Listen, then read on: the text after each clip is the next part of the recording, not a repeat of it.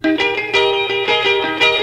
everybody had an ocean across the USA, then everybody'd be serving like California. You'd see them wearing their baggies, Warachi sandals too, a bushy, bushy blonde hairdo, serving USA.